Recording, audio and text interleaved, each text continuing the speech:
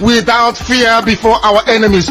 We have sworn an oath to restore Biafra or we die in the process. There will be no retreat and no surrender. If the option they give to us is to seek our restoration by violence, the every living thing living in the zoo will be destroyed. All the animals will be destroyed. It's a promise and a pledge we're making to them. They must understand that we just don't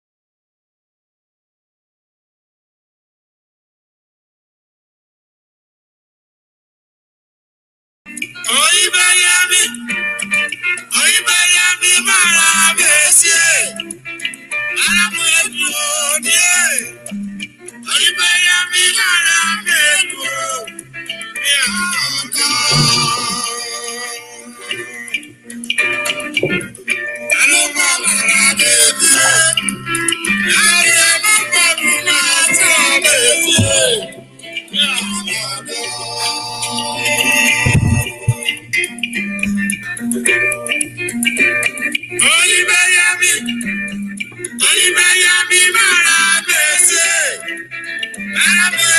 Oh,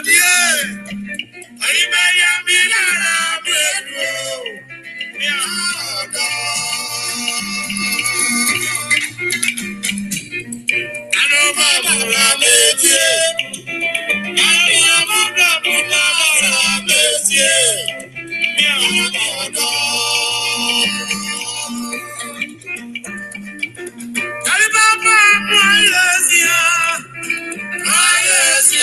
Malaysia baba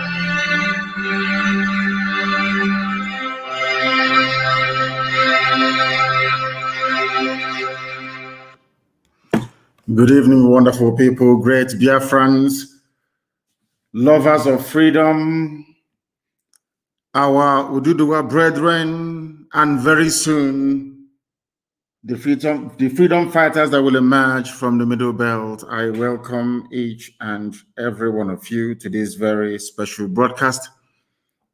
I am well aware that given what has transpired in the past few days, that the whole world is listening to us. Those that run Twitter are listening to us. Even those that run Facebook as well, they are listening to us this very evening because we are broadcasting live and direct to the entirety of humanity on a multitude of platforms. We are live on Twitter, believe it or not. We are broadcasting live on Twitter. We are live on Instagram. We are also live on YouTube.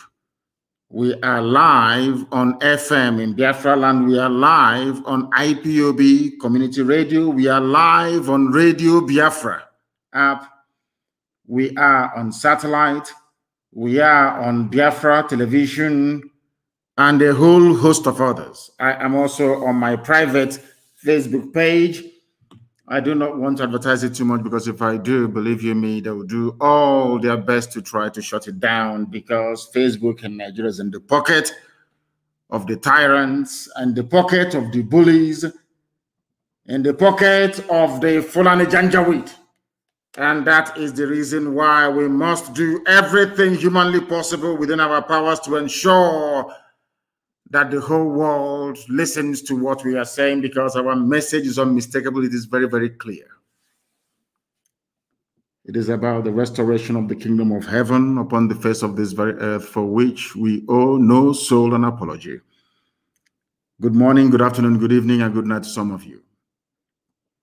Wherever you are in the world, as long as you have an internet enabled device, you ought and should be able to listen to us. And please, I welcome you this very evening from where I am. Endeavor to welcome other people as well, especially your friends, your family, those that you wish were born elsewhere, but not in the damnable contraption called the Zoological Republic of Nigeria. The time now is exactly 8 minutes past 7 p.m. in the sacred land of Biafra, and by the same number of minutes past the top of the hour, regardless of where you are I welcome all of you this very evening, morning, noon, or night, depending on where you're listening to us from. My name is Mazi Nnamdi Kanu.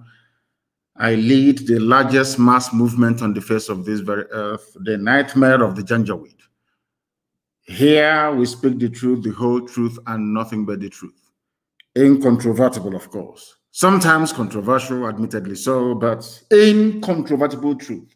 That is what we preach on this very noble platform I, am sure right now in Abuja, everywhere is at a standstill. If you go to Aso Rock now, most of them are on Vicodin. Some of them are on ibuprofen. Some of them are on painkillers. Some are even taking hard drugs. I'm telling you the truth. Because they cannot fathom, they cannot understand, they cannot comprehend our tenacity, our determination, and our doggedness. They understand that very clearly. I am the director of Radio Biafra and Biafra Television, and by the very special grace of the Most High Elohim in heaven, a servant of the wonderful people of Biafra. We have gone past the stage of lamentation. We no longer lament. They kill us, they invade our homes, they do everything humanly possible to dehumanize us. But we are carrying on regardless because we are, quite frankly, unstoppable they are incapable of stopping us. That is why this evening, regardless of where you are, you must participate. Get your pen and your paper ready. If you're a Janjaweed, you get your chalk and your slate. Because this evening we are going to lecture, we're going to teach, we're going to enlighten, we are going to bring knowledge to you. And if you are discerning, if you are the discerning type, believe you me, you ought and should be able to learn a lot this very evening morning, noon, or night, depending on where you are. This very broadcast is going out to the whole world. Everybody is listening all over the world. Heads of governments are listening. Social media giants are listening. Everybody wants to hear what we have to say. It is a gospel, a message given to us from heaven itself, and we must preach it to the living. First of all, before we proceed, you must understand that we are in a season of prayer with intermittent fasting now and again.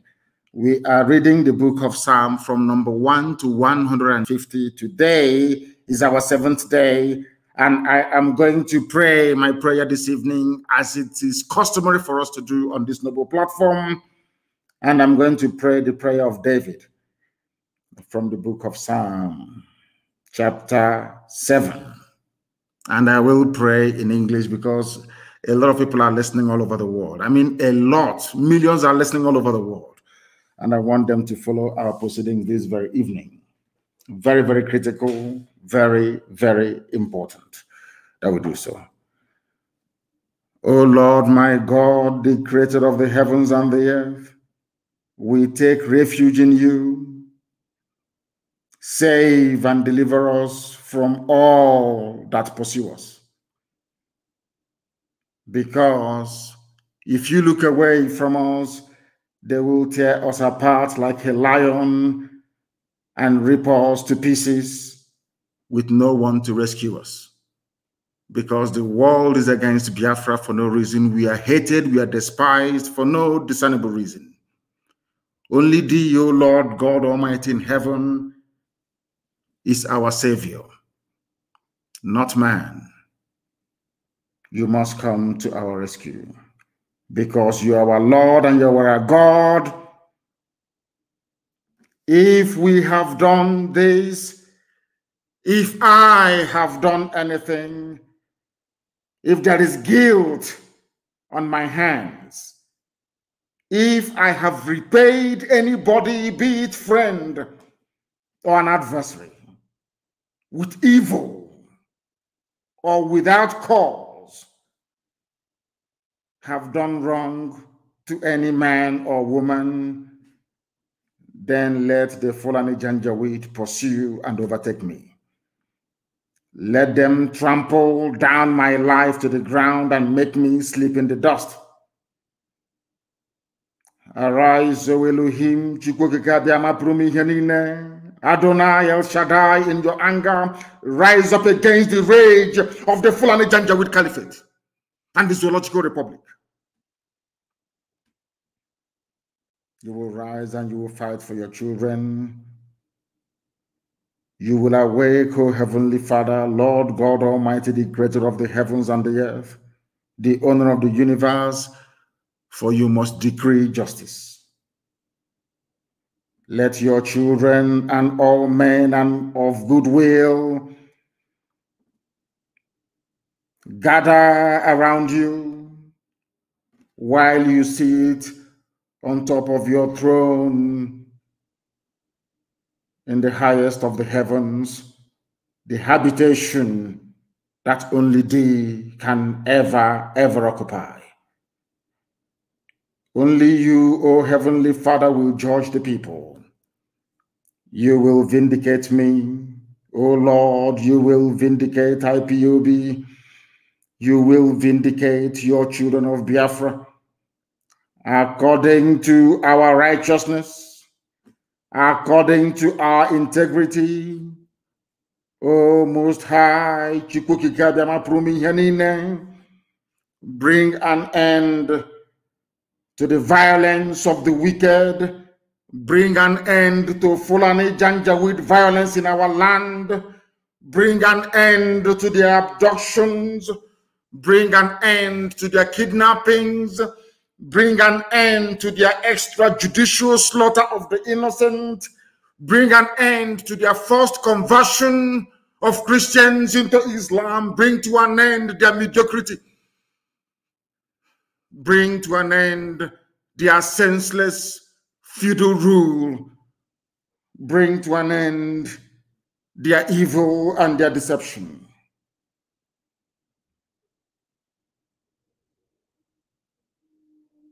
Come and secure the righteous. Because only you, O God Almighty in heaven, can see in the dark. Only you know the hearts of men. You are our shield. We have nobody Between 67 and 1970, the whole world ganged up and fought against your children. We did not steal anything from anybody. We did not go after anybody's possession nor inheritance. We were on our own in the land that you gave to our ancestors. They conspired, they connived, they colluded to kill us. Over 5 million people. We are dead at the end of it. You are our shield. We do not trust in any man or in any state. We trust only in thee because you are God and you always save the upright at heart. Anybody whose heart is clean, oh Heavenly Father, to those you do not abandon to their enemies. That is why you cannot abandon IPOB. That is why Biafra can never be abandoned. Because your words are yeah and amen. You are God, you're not human. Facebook may have been bought over by Nigeria, and we pray that Twitter will not succumb to their threats and their violence. You are God and you are not pride and a just judge. But you are also a God that displays his wrath every blessed day. If Fulani Janjaweed do not relent in what they are doing, if the Fulani Caliphate continues to pursue this scorched earth policy of abductions and murder and mayhem, then you, O Lord God in heaven, you will sharpen your sword, you will bend and string your bow, you will prepare your deadly weapons, you will make ready your flaming arrows, Whoever is pregnant with evil conceives trouble and gives birth to, disillusion, to disillusionment. That is what is happening in the zoo called Nigeria. Nigeria is pregnant with evil because it conceived trouble and it has now given birth to disillusionment.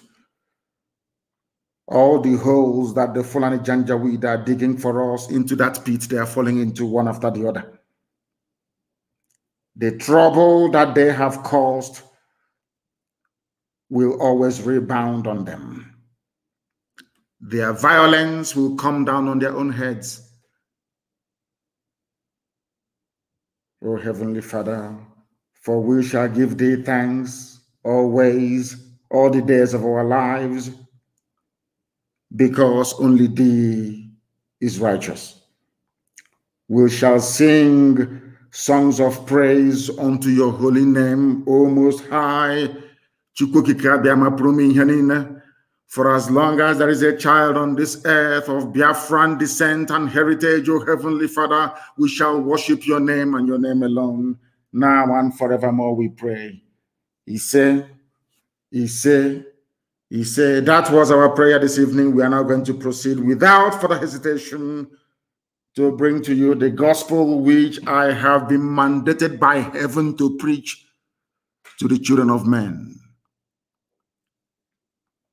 First of all, this evening, morning, noon, or night, depending on where you are, I want to congratulate Twitter for standing up to the Fulani bullies. They are bullies that is, that is who they are. They came into Gobir, which is today's Sokoto. They bullied the Hausa people. In fact, they convinced Hausa people to fight themselves. At the end of the day, they became the beneficiaries. The Hausa kingdom of Gobir became Fulani Emirate called Sokoto. Facebook, I must say, capitulated. Facebook came to Nigeria, made their headquarters in Africa, if I'm not mistaken, or is it West Africa, in Nigeria, and proceeded to receive huge sums of money. The entire staff of Facebook in Nigeria are under the payroll of the Ministry of Information and Culture. They are all compromised. Facebook capitulated because of money and threat from the dead dictator that the Fulani cabal are now ruling in his name. Therefore, I say to Almighty God, thank you very much that Twitter chose Ghana instead of Nigeria. because sometimes I imagine what would have become of Twitter had they made their headquarters in Nigeria.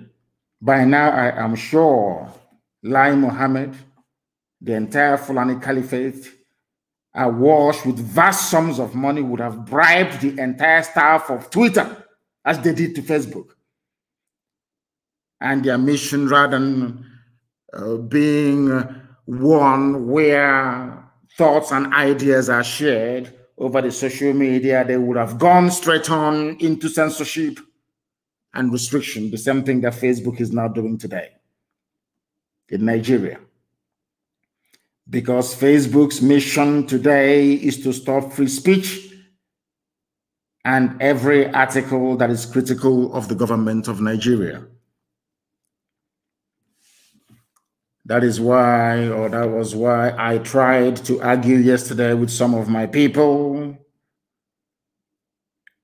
that the Attorney General of the Federation of Nigeria, Malami, ordering the prosecution of offenders is not only laughable, but it is the height of unforgivable idiocy.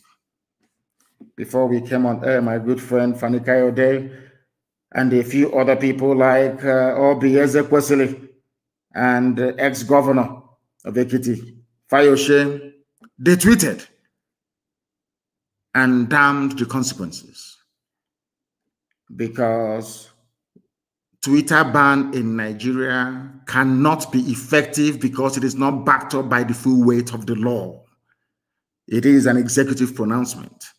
It does not have the backing of the law. This evening, Nigerians must understand that they do not understand the law. But here we are going to teach you how to understand it. Malami said he was going to prosecute offenders. In other words, if you tweet you'll be prosecuted. But all the Buhari support group, all the Janjaweed spokespeople, they are still on Twitter tweeting. That is the double standards of the Fulani. When we say that, uh, Lai will say, oh, Nnamdi Kanu is he's spewing hate speech. It is not hate speech. All I'm trying to do is to highlight the double standards of the ruling Fulani Caliphate. Because Fulani Caliphate are the people, they are the people ruling Nigeria. There is no Buhari. That is the fact of life. You can deceive yourselves all you like from now till the kingdom come. The truth of the matter is that Buhari is dead, buried in a shallow grave in Saudi Arabia. That is the truth of the matter. Sue me anywhere if you like, but of course not in the zoo court because anyway they're on strike. I want to ask Malami, under which law of the Federation of Nigeria are you banning Twitter? Under which law? Are you now saying that executive pronouncement by whoever is the head of state or the president of the zoo becomes law? Is that what you're trying to imply? If that is the case, then that means you don't understand what Montesquieu went through in order to to to to put to paper his treatise on separation of powers. It means you did not go to school. You're not an AGF. It means, of course, you're a quota lawyer so you know nothing. Under which law I asked the Fulani Janjaweed, including those in Aso Rock, because I know Buhari is not there, so maybe I will address Garba Shehu, Femi Adesina, maybe um, El Rufai, running the show from Kaduna, and of course um, Malami, and uh, what's his name again? The uh, their so-called secretary to the government, or chief, chief of staff.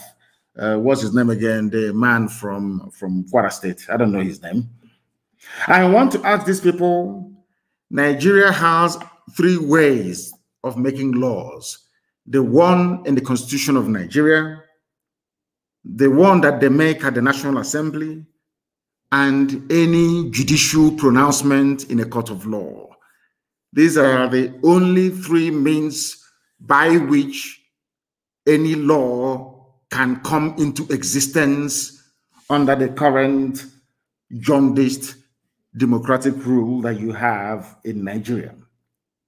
So I'm asking them, where is it in your 1999 constitution or any statute of state that using Twitter is a crime? I want somebody to please try and tutor that very Janjaweed, the Attorney General of the Federation of the Zoological Republic, called Malami, that an executive directive is not a law binding on the people. That is something some of you don't understand. When they say, come and register for NIN, all of you run and register for NIN, go and do BVN, do BVN. It is not backed up by the weight of the law. Therefore, it is not binding on everybody. I give you a very simple example. Remember most of the laws that most of the executive um, um, decisions that were taken by Donald Trump, how quickly they were reversed. And in most cases, some courts said they will not even um, um, um, uphold it. It was turned down. It is not binding on the people. It is an executive decision. It is not a law. You can't wake up in the morning and say, oh, I am banning Twitter because of that. Nobody should use Twitter. Are you mad? Who are you? If Nigeria does not want Twitter in their territory, all they need to do is to go to the National Assembly and pass a law or a bill saying we no longer require the presence of Twitter in our land. That now becomes law, punishable by whatever thing that the law courts may deem fit. Only then will the use of Twitter be prosecutable. You cannot prosecute somebody based on executive fiat. It is not done anywhere in the world. But because they are bullies, they do not understand the niceties of the law. Therefore, any instruction by those claiming they are Buhari or the Attorney General of a Buhari to arrest and to prosecute Nigerians still using Twitter is null and void because there is no law criminalizing the use of Twitter. And nobody, no president in a democracy has the prerogative to make laws by virtue of his or her pronouncements. It is not done anywhere in the world. That is why you have a democracy. But of course, some of you in the cow republic, you don't understand what we're talking about. Some of you are not learned enough to appreciate what we are discussing this evening or this very gospel that I'm bringing to you, but that is a fact. You can be a president, you can issue directives, but you do not make the law. That is why you have the National Assembly, that is their job. Once they make a law, that law now becomes binding on everybody. That is how civilized people behave. You cannot ban anybody. There is no law in the zoo criminalizing the use of Twitter. And whoever claims that he is Buhari cannot make any laws. He is an executive or the head of the executive branch. Their job is to implement and execute the laws. The duty of the courts is to interpret the law. I don't even know if these elementary uh, uh, government is, you know, if people are actually aware of it in Nigeria. I'm not even sure that people are aware of this very simple fact. The policy of this administration in the zoo to suspend Twitter's operations in Nigeria is not law, it is a policy. The constitution, the flawed constitution of the Federal Republic of Nigeria guarantees all Nigerians the right to free speech and freedom of association, freedom of expression. That is what I'm doing tonight, speaking my mind. You may disagree with it. Of course, the Janjaweed will, but the majority have over the years accepted it to be gospel and the fact. That is my opinion, and I am entitled to it. Something that the Fulani we do not understand. When I speak, they say it is hate speech. It is not hate speech. I am stating the obvious and I'm stating all these facts. I will buttress some of them with evidence as we progress this very evening. Therefore, everybody, if you are in Nigeria, please ignore the stupid threat that you will be prosecuted if you go on Twitter. And all of them, they're on Twitter. They are on Twitter. All of them, they're on Twitter. They're still tweeting. When they call me all manner of names, when they were calling IPOB miscreants, they called us every uh, vile name under the sun. Nobody complained of hate speech. When that fool on bleaching cream with two dots on his forehead were writing nonsense and calling me names. Nobody pulled his tweets down. Nobody complained. Not at all. I don't complain because I take as much as I give, so I don't complain. People are entitled to the opinion. And I don't expect everybody to agree with me all the time. It is impossible. These people, because we stood up to them, because IPOB said enough is enough, because we formed Eastern Security Network to safeguard our land, our forest, and our bushes and our farmlands for our people to go and farm, because we said to Fulani, you cannot conquer this land of the ancients. That is the only crime we committed. That is the only crime we committed. They went overboard. We are going to speak in the language you will understand but Boko Haram, ISIS in West Africa, Ansaru, Miyetti Allah, Fulani foreign bandits, Fulani local bandits, Fulani terrorists in general, Al Qaeda in the Maghreb. These are all terror franchise run by Fulani people in Nigeria. That is a fact. It is not hate speech. It is a fact. These people in Aso Rock never spoke the language that Boko Haram understood. They never spoke the language that Fulani headsmen, the same people. What I find astonishing is that these people, they will ignore the timber, the tree in their own eyes, and they'll be looking for a tiny speck of dust in your own. I want to ask Fulani Janjaweed, have you dealt with Boko Haram in their own language? Did you go to the north massacring people, abducting people, killing them, basically committing genocide in broad daylight as you're doing right now in the east? The answer is no. Throughout the years of Fulani rampage through the Middle Belt, have you ever read the riot acts to them? The answer is no. But the whole world, what I find astonishing is the hypocrisy of man. BBC, uh, Twitter, uh, Facebook, all the rest of them, New York Post, everybody, Sky News. All of you are witnesses to this march of the Janjaweed across from the Sahel into the Middle Belt part of Nigeria, killing slaughtering and maiming people. All of you are aware. Nobody will ever say to Garba Shehu, why did you not read riot acts to Boko Haram to Fulani, your fellow, your fellow Miyetti Allah, that you gave 100 billion to? Why didn't you read it to them? He read a riot act to IPOB. He read, oh, can't you? The president has spoken. And and when I say it, sometimes people take offense, but it is a fact of life that there is something fundamentally wrong with us. I've said this many times because I know that the owners of Twitter, they are listening to my broadcast this evening via that very platform. I want them to understand that I am also self-critical. We are our own worst enemies because of the way we reason, because of the way we think. And that is why black people are at the bottom of the pile all over the world, wherever you go to, because of how we reason.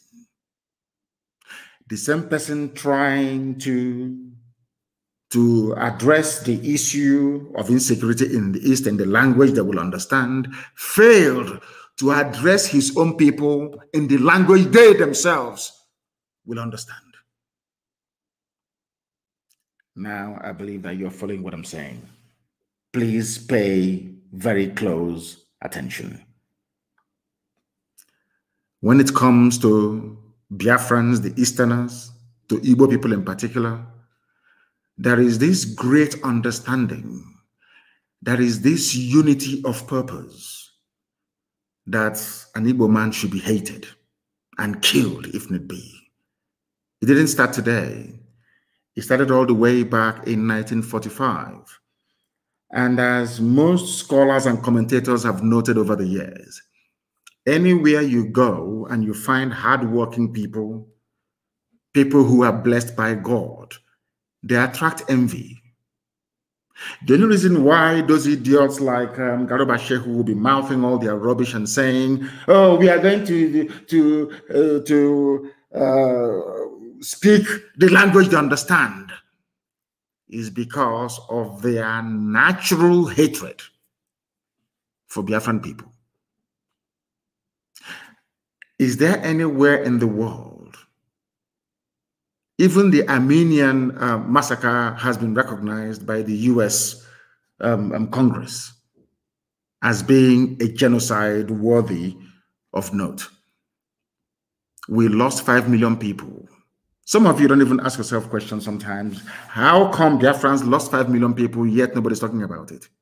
It's because of that palpable hatred all across the board for no reason. These are the demons that we are fighting on a daily basis.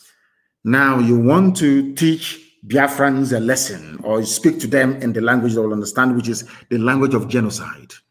That was the reason why uh, the tweet purportedly made by Buhari was taken down by Twitter.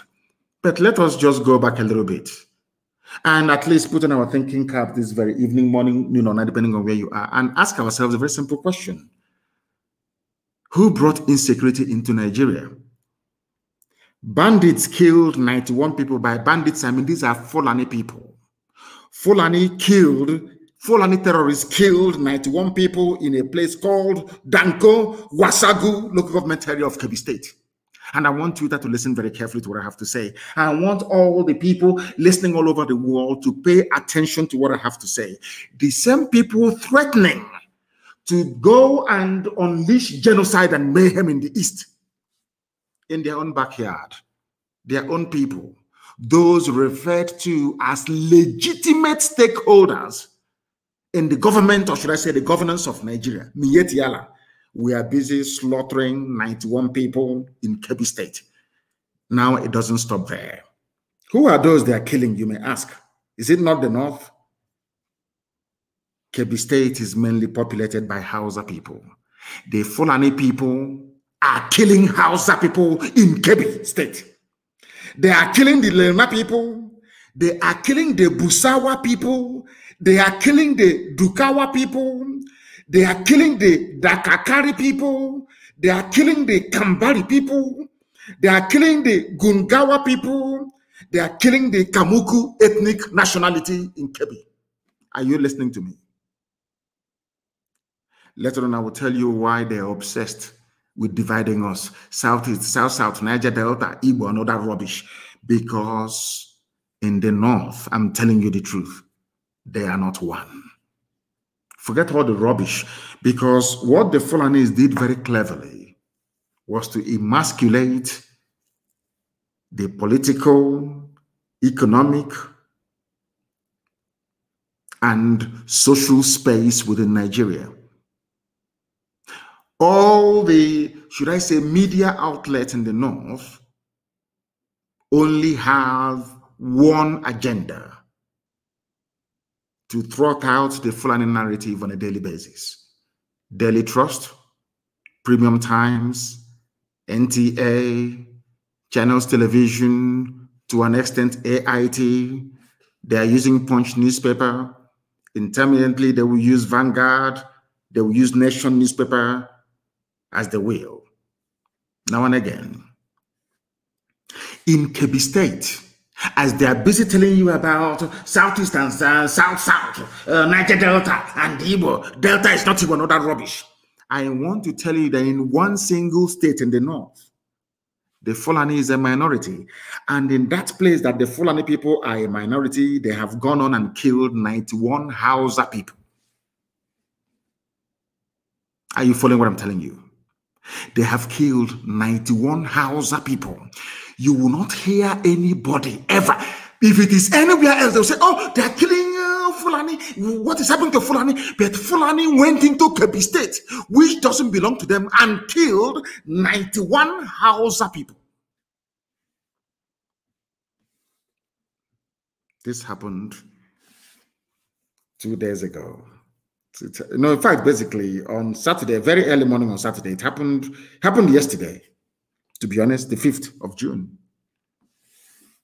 the police command in Kebbi State on Saturday confirmed that bandits, they don't want them to be called terrorists because once they're called terrorists, you, you, know, Boko Haram, ISIS in West Africa, Al Qaeda in the Maghreb comes to mind, and Saru and um, Yetiala will come to mind. So, you know what the government of Nigeria did through Lai Mohammed, their Minister of Information? They said to media houses, do not call them Fulani terrorists anymore, just call them bandits. So that way, the eyes of the people and the attention of the world will be deviated or deflected away from the real identity of these murderers and killers. It's a very simple strategy. Maybe it was Britain that advised them to do that. Maybe it's Catriona Laing that advised them to do that. I am telling the whole world only yesterday as they were shouting about Southeast insecurity, we are going to kill, we'll bring in the army, we'll, we'll land aeroplane, we'll bomb everybody in their own backyard. This same government is aiding and abetting the full and slaughter of Hausa people. It's here now, it's not very clear. Bandits kill 91 people in Danko, Wasagulo, confirmed by the police. And who confirmed it? the public relations officer, the PRO, his name is DSP Nafiu Abubakar. He confirmed the figures and said all the victims were killed in eight different communities in the local government area. Eight, he said eight different communities. These are Fulani people killing Hausa people. Telling you the house Hausa Fulani. That is why I keep wondering, I keep asking Nigerians all the time what is in your brain? What sort of substance is in your brain? Is it the white matter that God created, is it something else that is there? As they have now corralled all the media houses in the zoo to focus on the East. Fulani are busy killing Hausa people. They'll come out and they'll say, oh, We are Hausa Fulani. But behind closed doors, they are slaughtering Hausa people. It is here now. Go and ask the DSP Nafiu Abubakar of Kebbi State. He is the public relations officer of the police in Kebbi State. He confirmed it.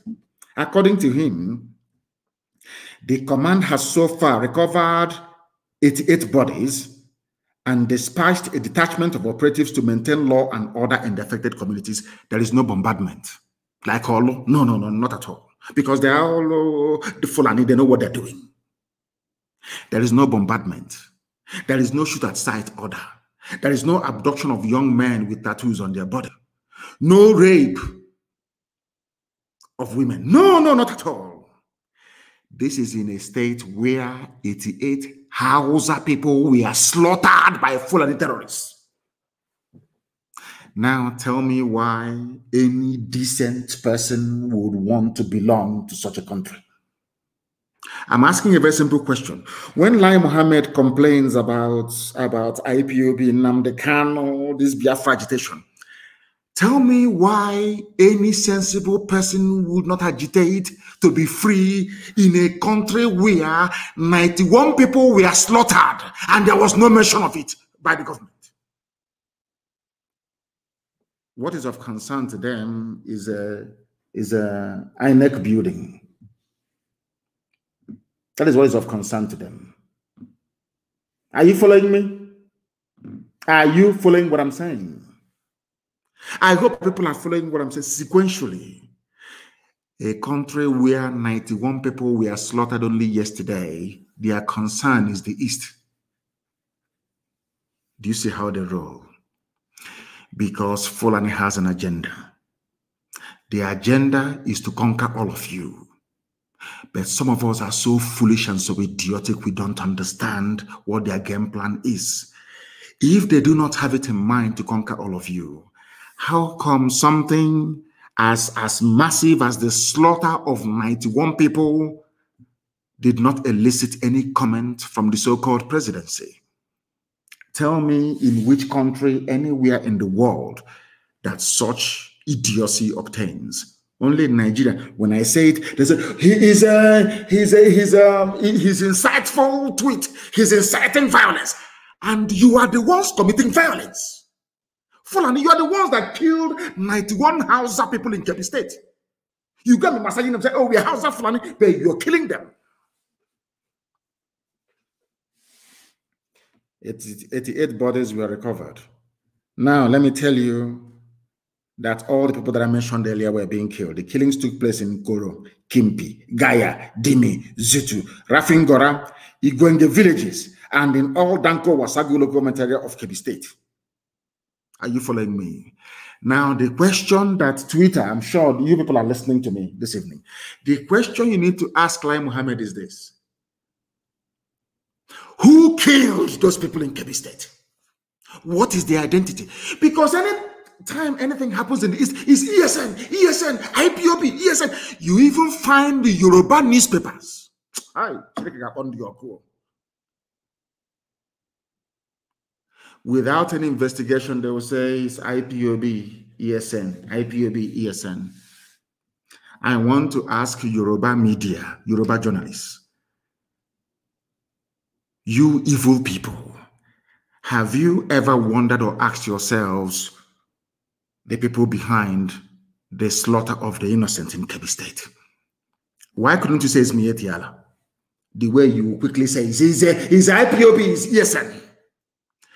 It is that hatred. It is in your bone marrow. You cannot get rid of it. I am not talking about the freedom fighters we have in Yoruba land. I am talking about their journalists.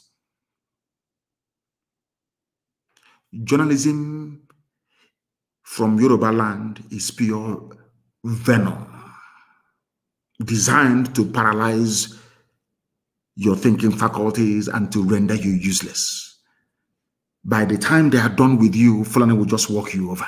I want to ask Yoruba newspapers, how come you are saying it is bandits that kill people in Kebbi State? Whereas anything that happens in the East is ESN, ESN, IPOB. Why?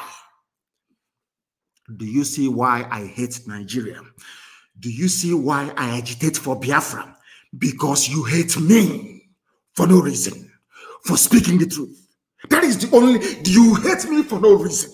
Then why should I not seek a country of my own? Given the level of hatred you have towards us. Daily Trust newspaper will be somewhere in Kaduna. Something will happen maybe in Okigwe, and he will write this IPOB ESN. He has never been to Okigwe before. I want the world to listen to what I'm saying, to understand the level of hatred directed towards Igbo Biafrans especially. To all Biafrans anyway. The other ones, they are treating them as if they are normal, but of course they are not. Fulani killed Hausa people. The same newspaper is writing Hausa Fulani, Hausa Fulani. I want to ask the whole world tonight, who are the people responsible for the killing of 91 Hausa people in Kebbi State? The answer is Fulani. And they know, but they are terrified to write the truth. They are terrified to speak the truth. That is why I cannot be in the same country with you people. You people are evil. You are evil. You see evil and you support it. You keep your mouth shut. You want Tinubu to be president. And you are paying dearly for these mistakes you're making as we proceed, I am going to bring to the attention of the world the damage that Yoruba journalism has done to Yoruba people. I will prove it tonight. On this noble platform, what we preach is the truth. You may not like it, but if you go back and reflect upon everything that I say, you will come to the realization that it is the truth the whole truth and nothing but the truth. You may not like the way I deliver it. I give you that. I'm not too I'm not I'm not too bothered about it. But ask yourself this question. Is Nnamdi Kanu speaking the truth? This evening, am I preaching the truth or not? Why is it anytime something happens without proper investigation, it is IPOB or ESN?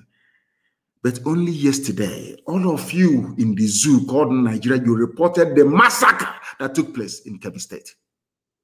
My simple question tonight is to Punch newspaper, to Nation newspaper, to Vanguard, all the rest of you that are basically trotting out the flying narrative every blessed day. I want to ask a simple question.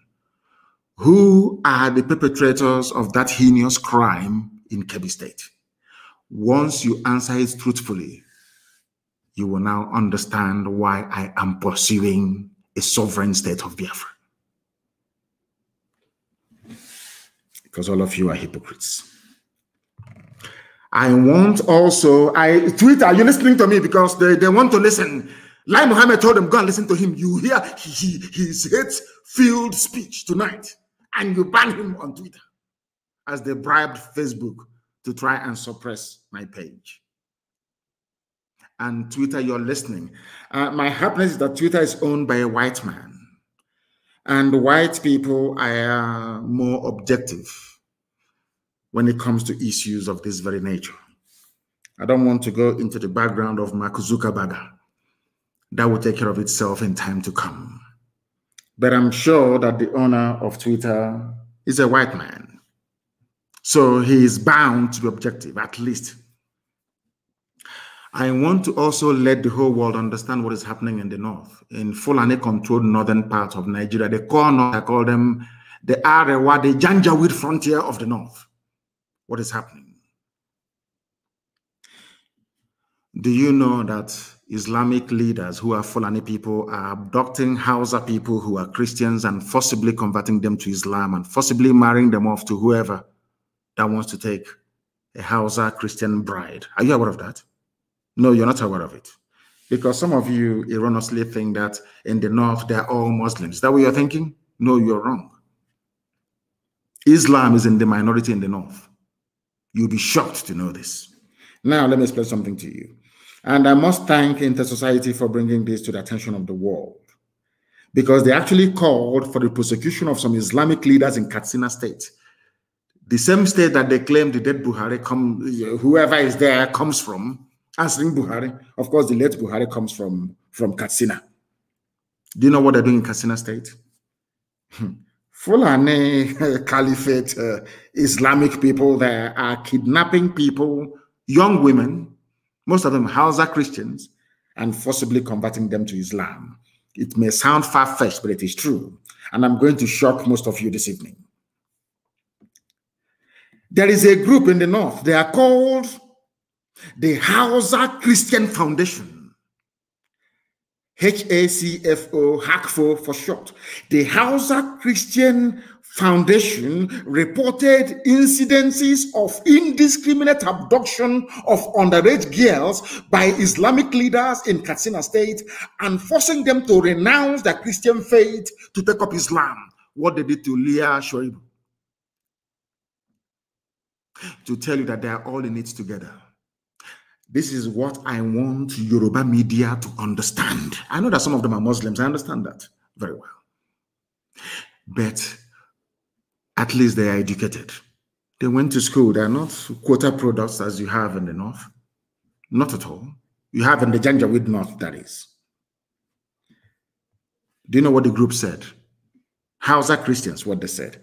The Nigerian government must sanction the Katsina Islamic leaders for indiscriminate abduction and forceful conversion of scores of Hausa Christians, especially girls of underage, to Islam. This is according to a statement issued on the 15th of April 2021 by the Hausa Christians Foundation. According to the group, there has been indiscriminate abduction of hundreds of Hausa girls and their forcible conversion to Islam.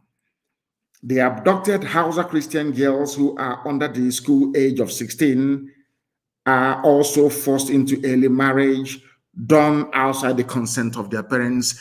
This is happening in a place called Nigeria. These are the people that want to ban Twitter. These are the people that bought over Facebook.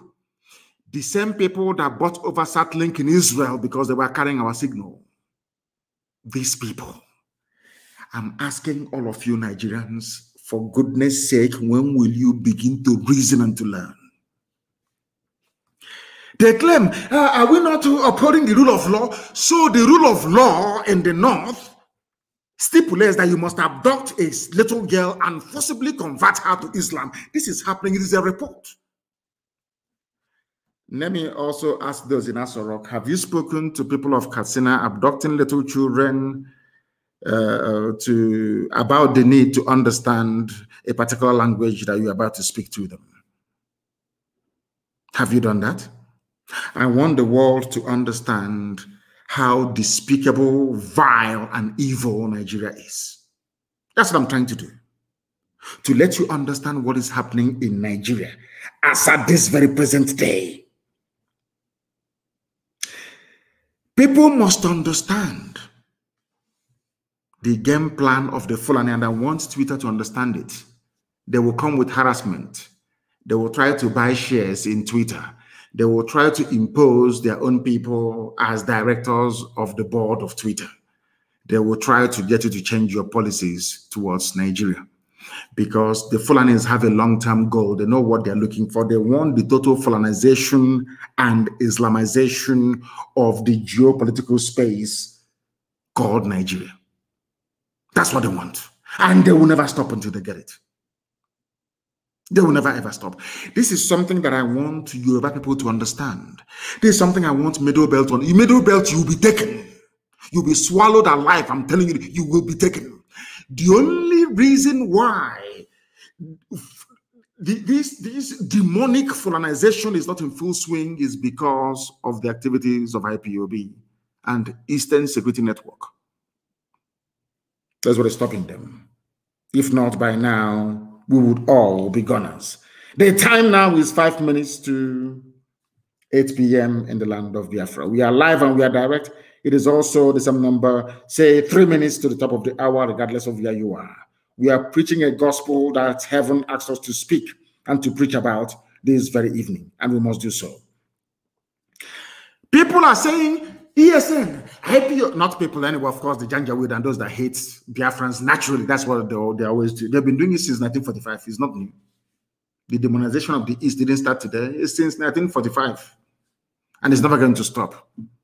Even when we get our Biafra, it will never ever stop.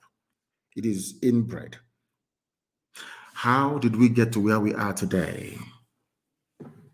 I want to ask, people must listen very attentively, please. I want to ask the whole world.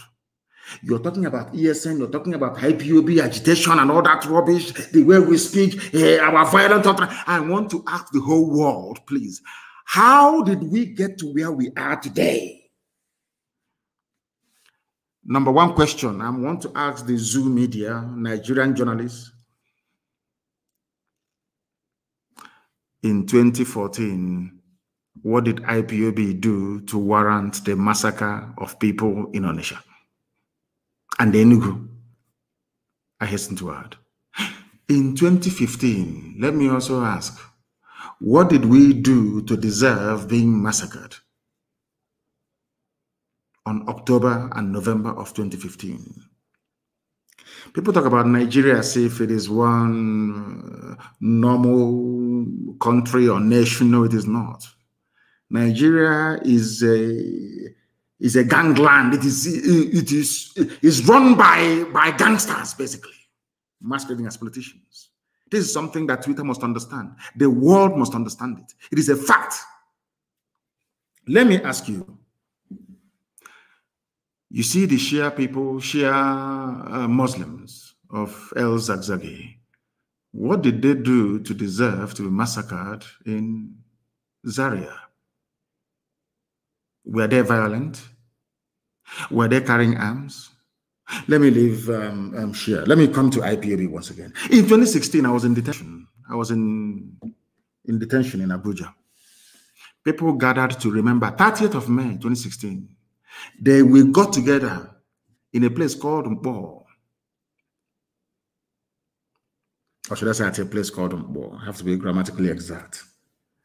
To pray to remember the dead, exactly what we did a few days ago. Do you know what happened? I want to, the world to understand. I hope Twitter can follow what I'm saying. I want mankind to understand. On the on the eve, on the 29th, on the evening of the 29th of May 2016, Nigerian Army, Nigerian Police went to a place called Nkpor and killed over 1,000 people. Now you'll be wondering what did they do? What's their crime? Their only crime was to gather together to try to remember those that died between 67 and 1970. The army went there and shot over a thousand people dead. Am I lying? Nigerian journalists, am I lying? After all, Amnesty published a, report about it. A report was published by Amnesty International on this very massacre. I want to ask everybody then was there any ESN, any arms anywhere? Was anybody carrying any guns or anything of that sort? It's only the flag. You shot people dead. Have you all forgotten? You zoo people, have you all forgotten what you did in 2016? Let us go to Aba. If you doubt me, go and look at the clip, and I want it everywhere tonight, please. The clip of um, that Al Jazeera journalist interviewing the late dead Buhari when the idiot was still alive. You know, sometimes I want to sound statesman like, but it's not possible. I'm dealing with animals in a zoo. How can you be, how can you wear a suit and you be playing with monkeys? It's not possible now. You'll get dirty. So it's better you take off everything now and be naked like them and be swimming in the mud. Isn't that the best thing to do? Sometimes I come on air and I want to sound very statesman-like, but it's not possible because we are dealing with vagabonds, to be honest with you. Why did I call them vagabonds? Listen to my reasons, please, before you castigate me. Those you massacred at Nkpor in 2016, what did they do to you? Were they violent? Were they armed? Those that you criminalized for asking for self-determination, do you know that it is a deliberate policy of the Nigerian state with their neo-colonial handlers to be calling us secessionists? Sky News published an article a few days ago and called Sky News in the UK called IPOB a secessionist group. New York Post made the same mistake. Reuters, everybody calling us secessionists. Now, I want to ask them a simple question. Why is it that you don't refer to Scottish agitation for self-rule, a secessionist movement? Oh, because they are white. okay. Sorry, I'm, I'm, i do apologize. They are white. what do we know? We are black monkeys. We know nothing. Nicola Sturgeon can agitate for a separate homeland for the Scottish people. Sky News will not call it secessionism. New York, New York Post will never ever target a secessionist movement, neither will CNN. But because in Africa, Biafrans are asking for the same thing that Scottish people are asking for, you now tag them secessionists. This is what is called very sublime racism. If you don't know, I will teach you and you will know. In Europe, it is called ethnic nationality. In Africa, it's called a tribe. For the reason, I'm asking the whole world this evening, why is it that Nicola Sturgeon, the leader of the Scottish people, asking for Scottish independence makes her, I don't even, they, they, they don't even have a name for her. If I ask for the something that Nicholas Sturgeon is asking for, Nnamdi Kanu becomes a secessionist. How did we get where we are today? Go and publish, please. Everybody publish that very interview. Uh, uh, I think it was Denise that was interviewing the late Buhari then. We were praying in Aba National High School in Aba. Twitter, are you listening to me? Before they ask you to ban me tomorrow morning. So you want to understand why we are upset, why we are angry? why we address Nigeria as a zoo. I'm not telling you the reason why, or should I say the reasons why. We gathered in Aba to pray, National High School in Aba to pray. These your newfound friends now, Nigerian police, they came, they opened fire and killed people. And I want to ask the Nigerian police that killed people, uh, uh, those playing uh, uh, uh, inside National High School in Aba, were they carrying any guns? It's a simple question. Ikpeazu is that the governor of Abia State. All those people you shot dead, were they, they felt they were even running away your position and killing them. You put, you, you packed some of them, you thought they were dead, and you put them in a pit along Aba Igweocha Expressway, and you pour that seed on them. Luckily, one person survived that very ordeal. I, I hope that Yoruba journalists are listening to me tonight. I hope you're listening very carefully and attentively. You want to understand why we're upset? I'm not telling you why we're angry and why we want Biafra. You packed, a, you thought they were dead. You shot so many people dead. You packed their bodies and dumped them in a borrow pit. In order to make their identification impossible, you pour that seed on them, on their faces to disfigure them, true or false. We have a survivor of that very ordeal. And his plight was well publicized. I even think that CNN even carried the news at some point. But you know one funny thing? Yoruba media never carried the news.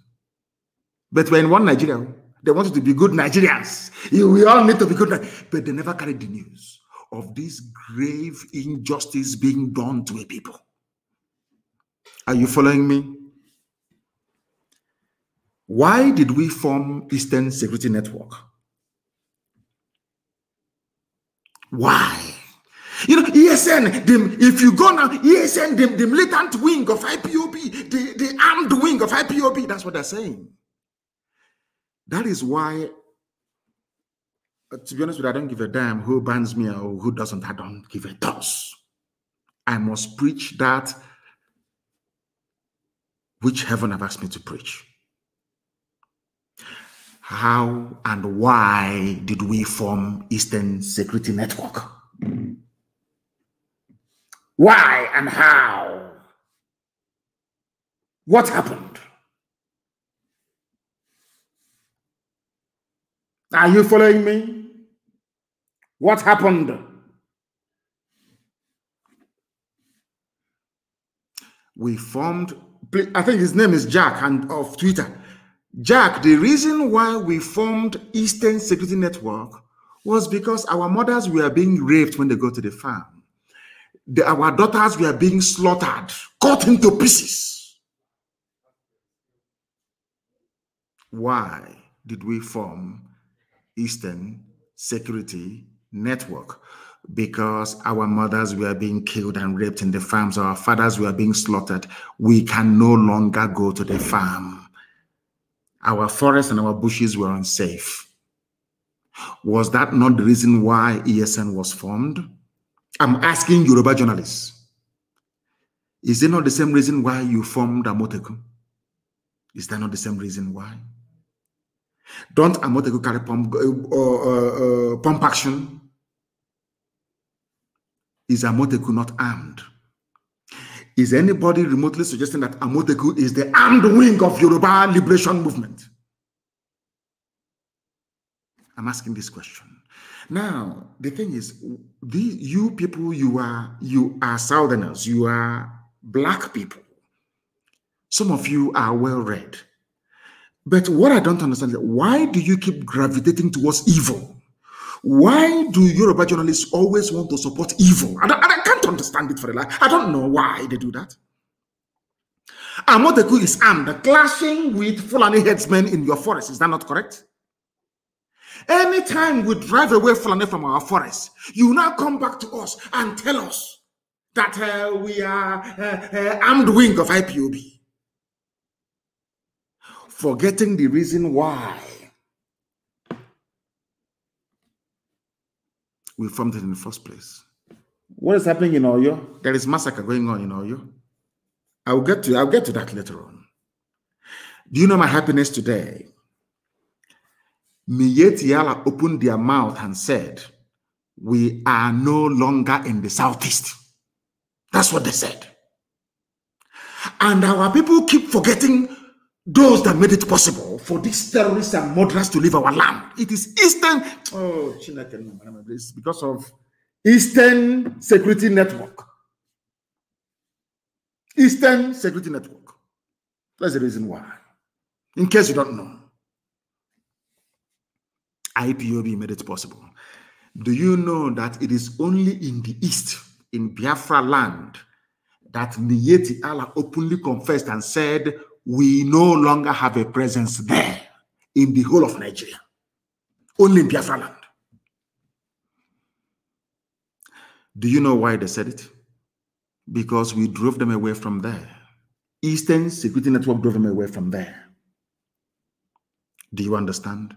They said, but insecurity has persisted despite the fact that uh, we are no longer in the East. This is Miyetti Allah, the, the fourth most deadly terrorist group in the world, in the whole world. And I want Twitter to understand what I'm saying tonight.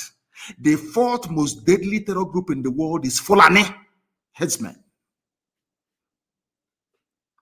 According to World, that's the Global Terror Index. Go and Google it. The only place Fulani said we are no longer moving our cattle, raping and killing people is on Biafra land. And which people made it possible? Who are the ones that made it possible? Intellectual man, who made it possible? I'm asking you. Something that all of them couldn't have done. We formed ESN December of last year, and by May of the next year, Fulani confessed we are no longer in the southeast. Now tell me who is there killing people? Fulani soldiers, Fulani policemen, Fulani DSS.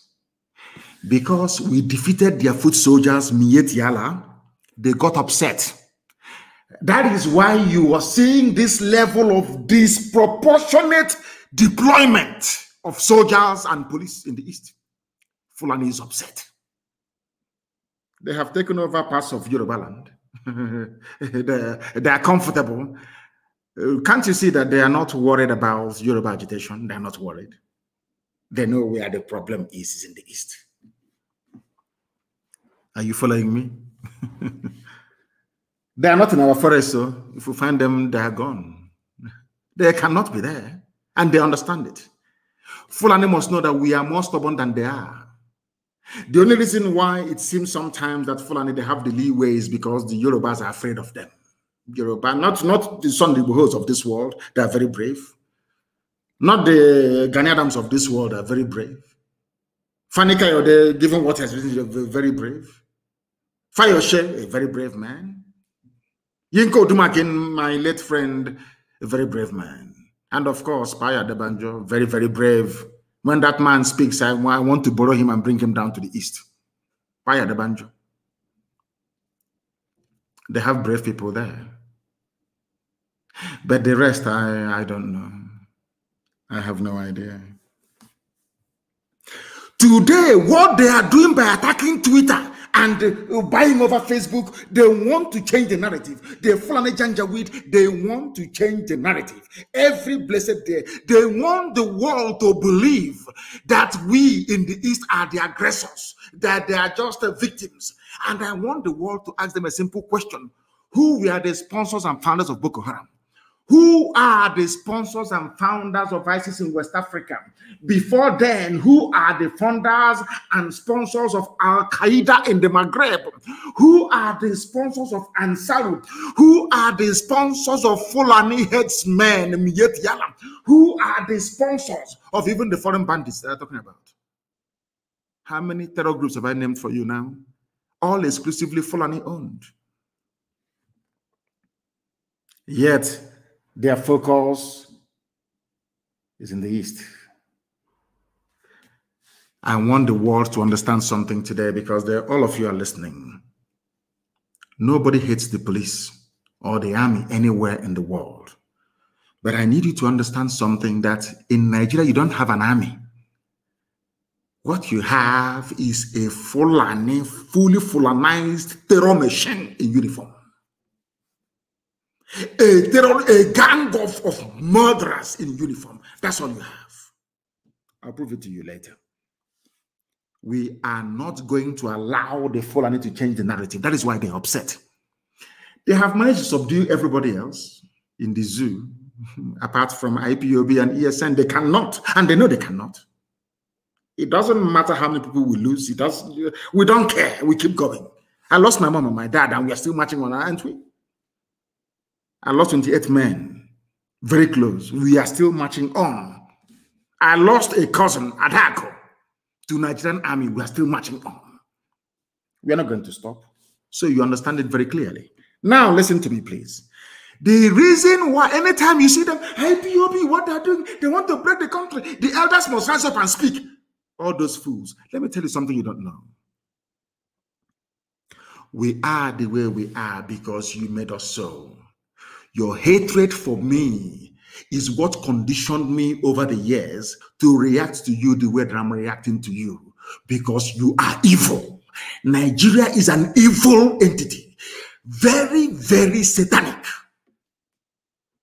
You want to change the narrative. It's IPOB, they're the aggressors. Uh, we, I saw some women, was it yesterday? Uh, give them their Biafra. Uh, we don't want to die. Look at murderers calling other people murderers. Can you believe such nonsense? The Fulani leaders, you cannot win. You cannot defeat IPOB. You people were the ones that established many terror organizations in Nigeria in a bid to overwhelm the country and take over the territories for your Fulani people. IPOB became a stumbling block to that very janjaweed expansionist tendency. True or false? Am I lying? You were ruling Nigeria before, doing everything you like, controlling NNPC, controlling the seaport, customs, everywhere you ever. Now, finally, because you felt that you you you you you you've subdued everybody else. Now you can now march on with your foot soldiers into the east because you've taken over Yoruba land. Of course, I know that very well. You came and we said no. You can't come into this land to take it. Come and do your business and go. You said no. Now, because we defeated Miyetti Allah, you now brought in police and army with official uniform, official badge to come and kill people. And I also want to remind Twitter because they're listening. Twitter, please. Do you know that in the Nigerian army and police there are terrorists there? Are you aware? That Nigeria actively recruited terrorists, killers and murderers and rapists and gave them army and police uniforms. Are you aware of that? How can anybody, Yoruba, Yoruba journalists, how can you people in your infantile stupidity refer to Nigeria as having an army or Nigeria police? Or where are those terrorists that they conscripted into the Nigerian army and Nigerian police? Where are they? People without shame, where are they? I'm asking you. Fulani, you want to change the narrative? of course not.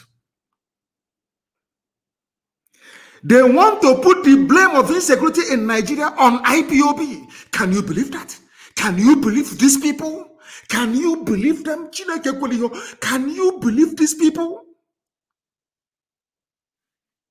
And luckily, as God will have it, they are slaughtering themselves in the north. But IPOB securing the east are the ones to be blamed for the insecurity in the east. There is a clip I want everybody to play, please. Hope Uzodimma opened his mouth and said, I invited the army to come into Orlu. There was nothing happening.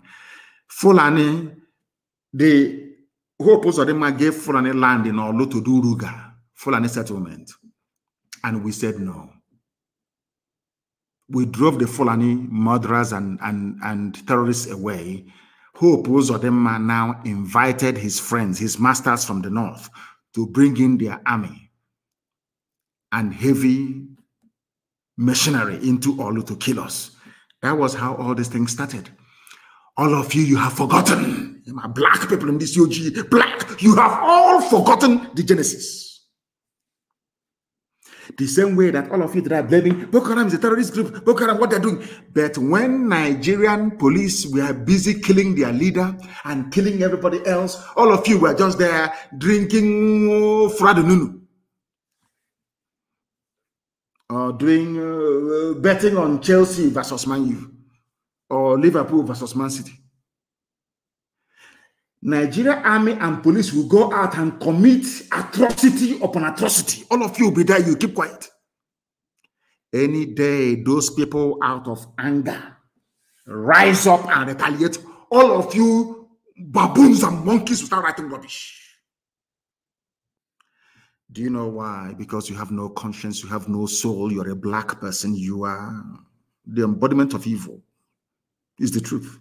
I don't care who bans whoever or whatever, I don't give a toss. I must preach the truth. Black people are wicked. By nature, very wicked people. That is why you forget the atrocities that your police and your army always commit. You forget. In a twinkle of an eye, you forget. Our army, our police. Now, listen to me very carefully, please. You are blaming ESN Whereas it is the same Fulani terrorists masquerading as headsmen that, that are responsible for orchestrating all the insecurity in and around Nigeria. Fulani, you have Boko Haram. Fulani, talking about insecurity in the east. Hey. Whereas 91 people were slaughtered yesterday, yesterday they were killed yesterday. You you have the God you people have no shame. You have the guts to stand up and be talking about insecurity in the East. And you're, you're a senator from, from Kebbi State or Kebbi, whatever they call it. And 91 of your constituents were slaughtered. You didn't see it. You're talking about uh, East. Fulani, who formed Boko Haram. Fulani, who formed ISIS in West Africa province, ISWAP. Fulani, who formed Miyetti Allah Fulani who formed Ansaru. Fulani who formed these headsmen and bandits you claim are foreign. Fulani who brought out murderers and killers and terrorists from prison and gave them military and police uniforms. It is you people. You have now spread them around the country, causing mayhem, abducting people from schools. These are the same place. Hi, these people, Ha, Fulani, you think everybody's as stupid as you are? You go, you kidnap students from their schools in the north, you get ransom, you buy more, more, more arms, you embolden yourselves. You have the guts to, to, to, to conduct a live press conference talking about insecurity in the East. Don't you have shame? Anyway, you don't. Who are the bandits, or should I say terrorists, taking hostages? Of school children and demanding ransom. Are they not Miyetti Allah? Mieti, the chief negotiator. Who are the people destroying farms, raping and killing their victims daily around Nigeria? Fulani. Fulani. You know? How they manage to convince some of you is what I find astonishing despite the overwhelming evidence. How they manage to convince you people that they mean well for you is something I can't understand. It was in Nigeria that I discovered the reason why the black race were enslaved and colonized at the same time. After slavery came colonization, after colonization, now we are in the era of neo colonization. If you want to know why a black man is easier to control than, a, than an animal, come to Nigeria, you will see it. You see, Punch newspaper is a Yoruba newspaper. Tribune is Yoruba. Nation is Yoruba. In fact, most major newspapers, they have this Yoruba leaning because most of them are based in and around Lagos, including Sun, Vanguard, all the rest of them. Unbelievable. They know that their forests and their lands have been taken over by the Fulani. The journalist writing their rubbish for Punch newspaper, he cannot go back to his village. Most of them in Ogun State are refugees in Benin Republic. The person you will have the gut to come on, on national television to talk about insecurity in the East. Whereas your fellow Yoruba people, they are in Benin Republic as refugees driven away by Fulani. But because I said that no Biafran will go and dwell in a refugee camp anywhere, instead we all perish. You are calling me uh, uh, uh, the instigator of um, insecurity. Let me tell my Yoruba journalists one thing they don't understand. If we had behaved like you people, by today we will have Biafrans in Ambazonia as IDPs. If we had allowed the Fulani to come into us playing this one Nigeria, good one Nigerian card, our land and our forests would have been taken over by the Fulani the same way they have now taken over swathes of Yoruba land. Are you following? In your land, the Fulani people are massacring you. In our land, it is there. We have defeated their foot soldiers. They now brought in, gave them army uniform, official army uniform, to come to kill in our land. That's what we are facing now. Because the Fulani is the thing they're clever but they are not.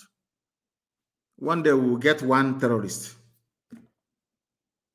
with uniform and we will show the whole world what they have been doing. Fulani terrorists are everywhere, you must understand. They are the military and the police. Nigeria has no military, it has no police. What you have are terrorists, Fulani terrorists in uniform. That's what you have. No Fulani leader. I have never come across any Fulani leader condemn Miyetti Allah. Never, ever, ever. But one of them, uh, the East must speak up. Uh, silence is no longer golden. Speak up now. Speak up now. Have you ever spoken up against Miyetti Allah? Have you spoken in the past against them? Against your friends in Boko Haram and ISIS in West Africa that are considered even more deadly than Boko Haram? No, you have not. But you want Eastern leaders to rise up and speak against those that drove away your terrorists from our forests. Does that make any sense to you? Of course not. No Fulani leader has ever condemned what their people are doing. The same people are today threatening us Fulani rulers trade with genocide. Activities of ESN is the reason why we are coming. You are angry because we defeated your foot soldiers in the forest. We drove you terrorists away from our land. That is why you upset. Once in a while, you give them uniform, army uniform to come and kill people. That's all you do. Any day we respond now, we capture them or we kill them, you run to Twitter. Can you see they're killing Nigerian uh, uh, soldiers and the police, uh, our security architecture? But you cannot speak the truth by telling the whole world that these same people were once terrorists or are still all terrorists even till now. Do you understand what I'm saying? Do you see why we are agitating for Biafra? Why we don't believe in Nigeria? Why Nigeria will be destroyed beyond repair? Because Nigeria is a criminal enclave. It is not a nation, it's not a country. It's a place full of black people who cannot reason properly. It's as simple as that. Because if you can reason properly, uh, if you can reason properly, please, you can see the handwriting on the wall. Who are the terrorists in Nigeria? Who brought insecurity into Nigeria? Is it not the Fulani? Without Fulani people raping and killing in our land. Also, one, in case you have forgotten, Nimbo, in case you have forgotten, in Ebonyi, in Cross River, in rivers, everywhere they were killing, pillaging, raping, and looting. Have you all forgotten why ESN came? You have all cleverly forgotten. Black people, this UG. And they are so-called political elites. Everybody wants to be politically correct. Everybody wants to be politically correct. Everybody wants to please Fulani because of 2023, because they control INEC, they control CBN, they control everything. Your political future. In fact, if they can put this on in power, who what can they not do? All of you were there claiming this is our nation, Nigeria, without shit. You people, you disgust me. Supreme Court of Nigeria imposed a man on the people of Imo a man that came forth during election. He was imposed. And they asked Supreme Court, oh, Supreme Court of Nigeria, where did you get all this number of voters, given the fact that INEC register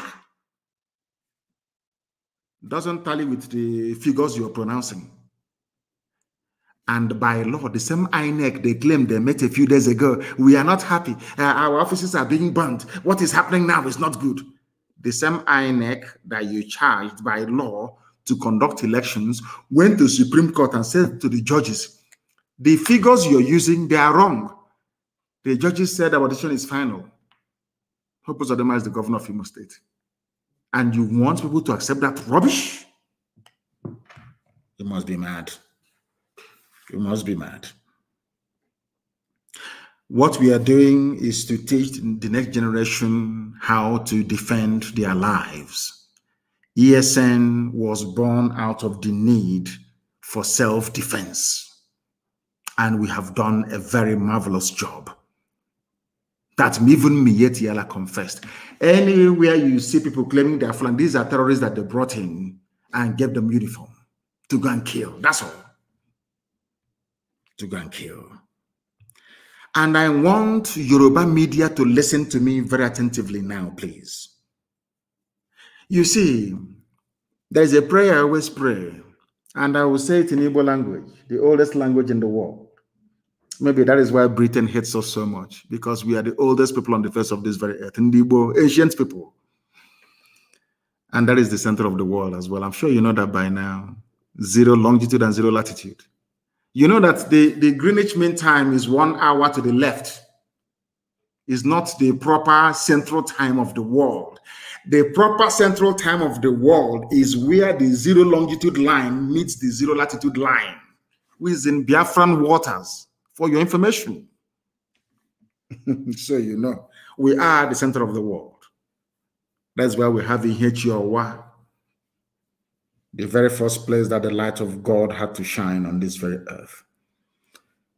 Gani Adams, Iba Gani Adams, the Are Ona Kakanfo of Yoruba land on Sunday said, that's today,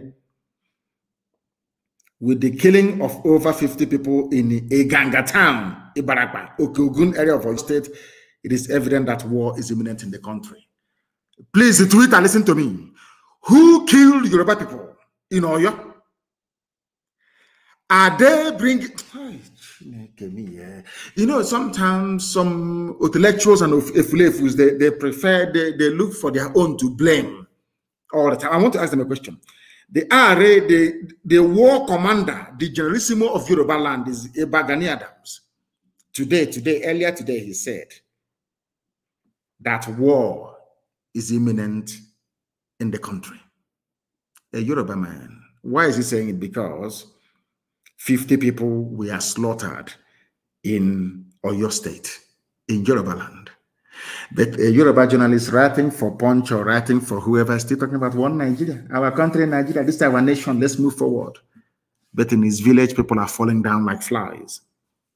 Are you following?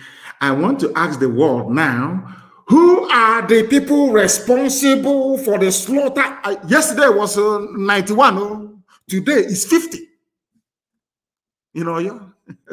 One Nigeria, isn't it?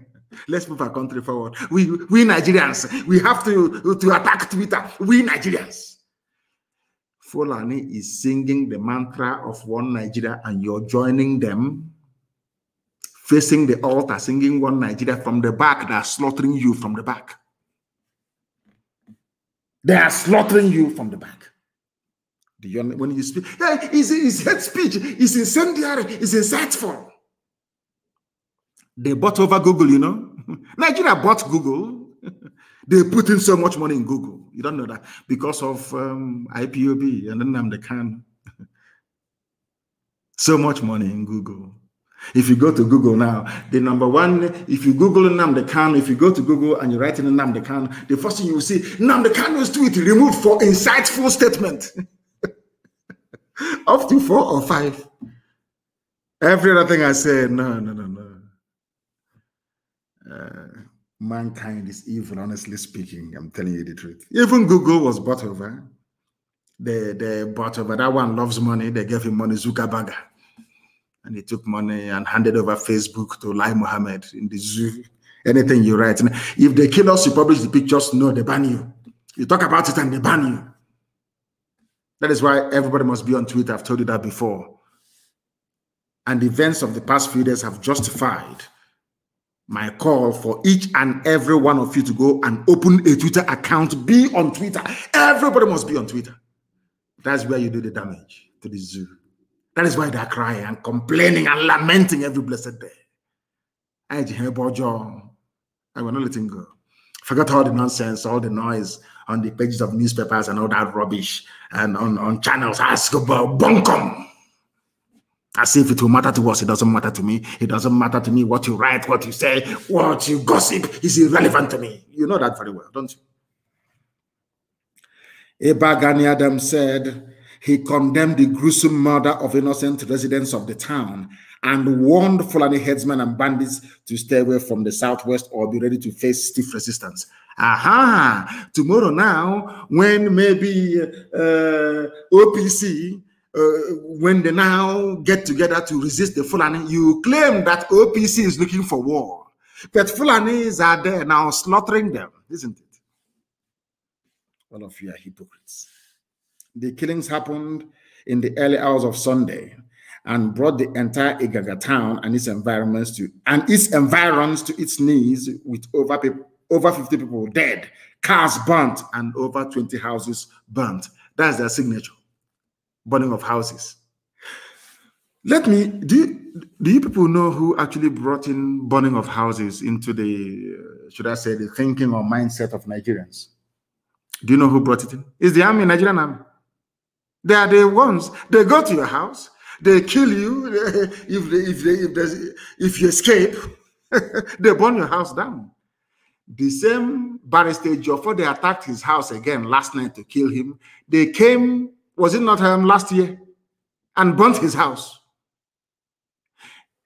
Do you know that Nigeria army went to Fela's house in those days?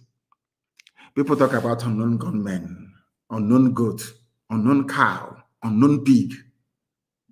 Who started the phenomenon, the phenomenon of unknown? Nigerian government under Obasanjo. They sent soldiers to go and kill Fela and his mom they went to Fela's house after causing the death of the mother, of course. They burnt the place down. Nigerian army. They asked them who did it. They said unknown soldiers. All of you have forgotten. These are black people that don't read. You know, you don't even know history. They asked Obasanjo who were the people responsible for invading Fela's home, Fela Anikulapo-Kuti, his home. They said it's unknown soldiers. oh, dear me. Nigeria. You see Obasanjo tomorrow. This insecurity is getting out of hand. Obasanjo, did you not start insecurity? By sending soldiers to go to Fela's house. What crime did Fela commit? He was singing and expressing his natural, his God-given right to speak his mind. Obasanjo, you today talking rubbish, insecurity, and uh, we need the bitterness in the land. Why did you send soldiers to go and kill Fela and the mom? When they failed, they burnt the place down. Nigerian army, yes. It was Nigerian army that started uh, this very uh, uh, the concept of burning down people's houses. Nigerian army, yes. Nigerian army, yes. The army of Nigeria our boys, as some of you will foolishly claim now and again. They killed Yoruba people 50 yesterday. The same way they went to Benue State and killed Igbo people the other day. When we go there now to confront them, people say, hey, ESN is here. They are, they are destabilizing the polity. They're oh, talking rubbish. Why is it that when Fulani people are killing people, all of you are quiet? When the people rise up to retaliate, you start talking rubbish. All of you. You start writing to Twitter. Uh, Lai Mohammed was upset because he wrote to Twitter on four occasions for Twitter to ban my account. And Twitter said no. You don't know that? Four times they wrote. Ministry of Information and Culture, signed by Lai Mohammed to Twitter, ban Nnamdi Kanu. Twitter said no on four occasions. uh, but they called Facebook, you know, Facebook, uh, they, they have Nigerians working for them. Bribery and corruption, give them money. Anything you see that is Biafra, pull it down. And the idiot doing work for Facebook, pulling all Biafran posts down in his village in Ibarak, but they have killed 50 people. I can see on. I can see that hand with which you have used to write that poisonous epistle on the pages of Punch newspaper. You will put it in, inside your mouth and you become contaminated. Ibarapa is an example. Yoruba land is under siege by the Fulani. and you're writing about the East. I know that um, Iba Gani Adams will do the obvious. They even destroyed the palace of the Oba of Ashigagan, of Igagaland, Oba Adewusi Olaoye. His house was not spared. And the monarch has been whisked away by the bandits. They even took a Yoruba traditional ruler, an Oba in Yoruba land, Fulani. Your friends, eh? Your friends in one Nigeria, keeping Nigeria one, moving ahead, yes? they took your Oba Fulani bandits took your Oba. In the east, you have their soldiers disgracing our traditional rulers, as they did in the coastal region. They know what they're doing. Can they do that thing to an emir in the north? Can they try it? Of course, the answer is no. Because all of you people, you tolerate Fulani Janjaweedism under the guise of one Nigeria. They are flying your flag, green, white, green in front of you, but inside are carry inside they are, they're destroying you, but you don't know.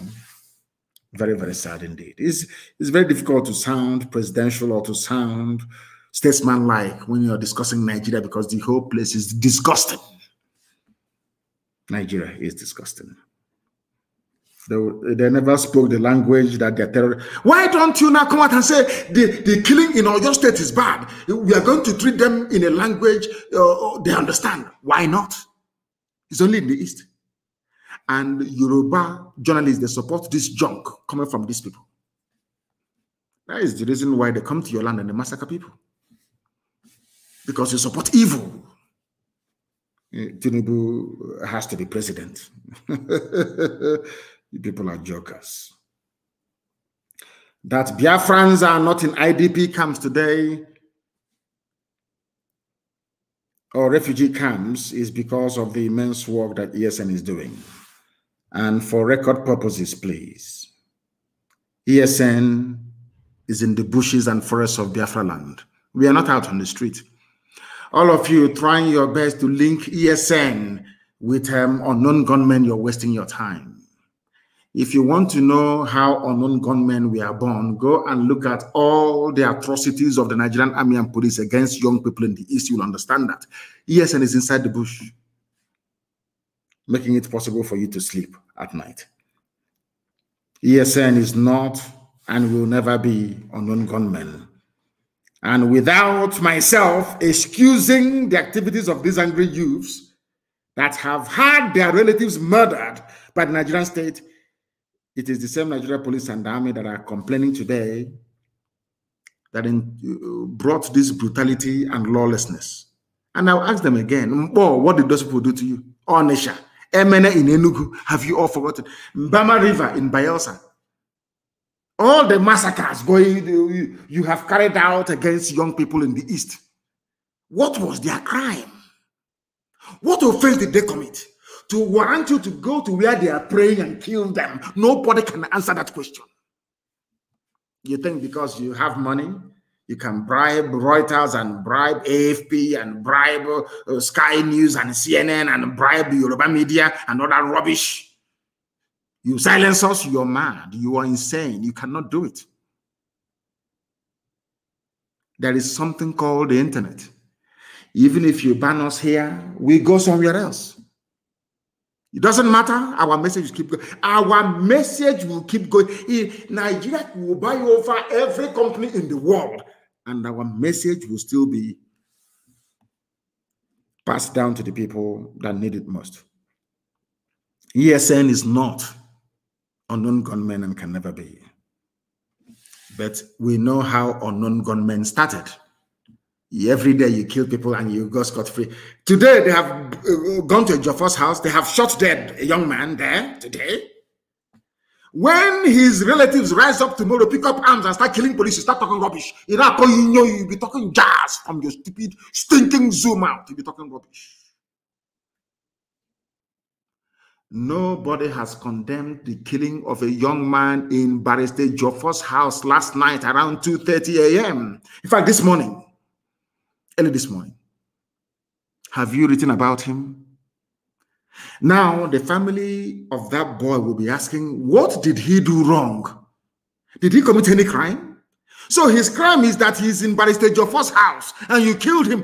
Tomorrow, when his brother or sister will pick up arms and start fighting the police, all of you, I don't know how to describe you demons. All of you demons will start right, talking your usual crap and rubbish.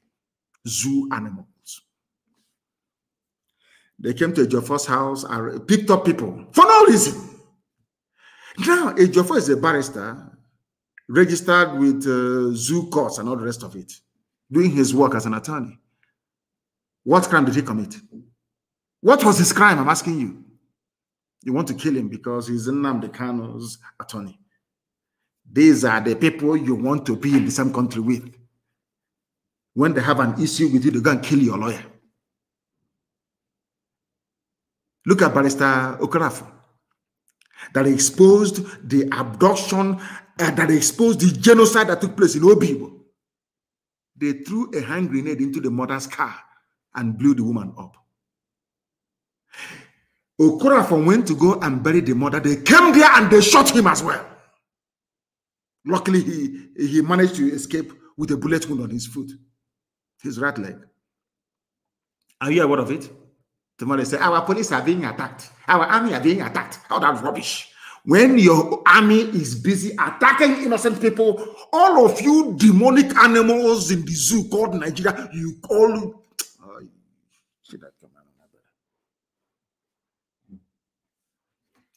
Any next time you see Obasanjo, please ask him who brought unknown into the killings in Nigeria. He will tell you he did. Unknown soldiers going to Fela's house. Who bombed uh, Fela's um, house? Is it Kalakuta Republic or whatever it's called? Unknown soldiers under Obasanjo. That's Nigeria for you. They started the insecurity.